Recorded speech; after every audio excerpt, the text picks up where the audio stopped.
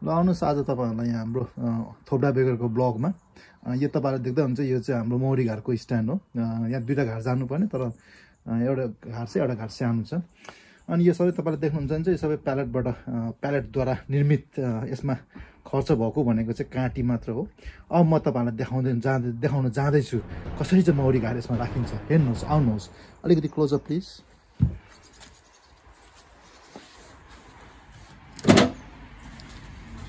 यो चाहिँ यो चाहिँ मौरी घाटको अ, तलको बेस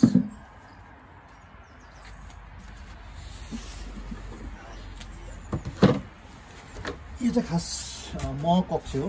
तपाईँलाई यसो देखाउनुको लागि मात्र। मह कक्ष अनि यो चाहिँ एउटा मैले एक्स्ट्रा लेयर मात्र बनाएको पछि अ, समूहको लागि। यसमा चाहिँ खास केही पनि छैन। यो एउटा माथिबाट छिन्ने दुलोको लागि मात्र बनाएको। यो चाहिँ रानीद्वार भन्छ अथवा रानी छिर्नु नदिनुको लागि यो चाहिँ सिम्पल एउटा प्लाइवुड मात्र हो। झट्ट राखिन्छ यसरी अब। अनि यो चाहिँ छानो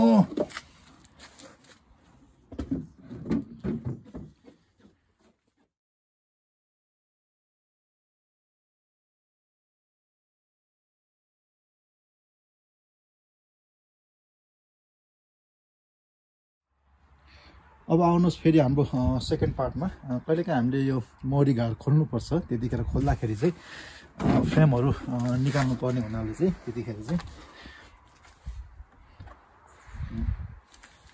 यो चाहिँ मैले अर्को एउटा ट्रिक पनि गरेको छु यसमा। तपाईँहरूलाई ट्रिक देखाउनुको लागि हो खास चाहिँ।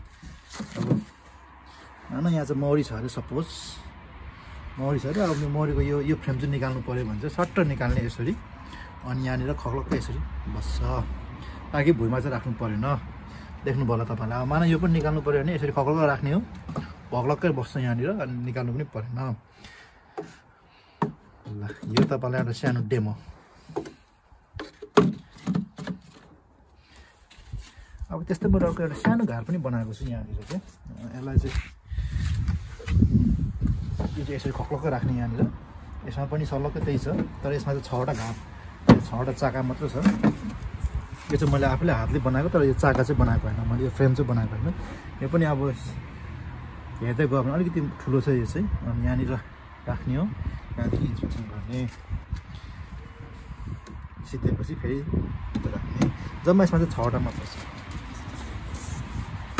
म यसरी ठ्याक्क बन्द गर्छु यसलाई। अनि मेरो फिनिसिङ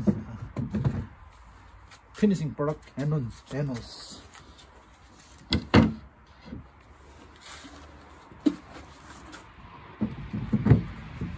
Hello.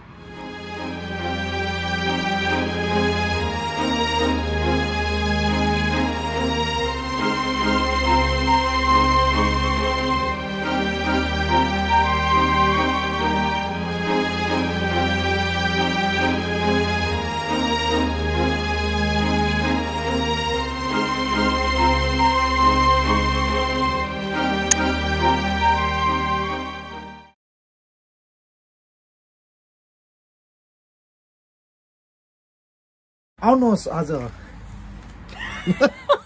अहिले तपाईँहरूले देखिराख्नु भएको छ त्यो चाहिँ हाम्रो के अरे मौरी घाटको फ्रेम हो।